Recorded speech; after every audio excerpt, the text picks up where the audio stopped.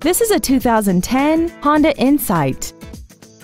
This car has a continuously variable transmission and an inline four-cylinder engine. All of the following features are included. Aluminum wheels, traction control and stability control systems, a passenger side airbag, a pass-through rear seat, an electronic throttle, tinted glass, advanced compatibility engineering body structure, LED taillights, and this vehicle has less than 36,000 miles. This vehicle is sure to sell fast. Call and arrange your test drive today.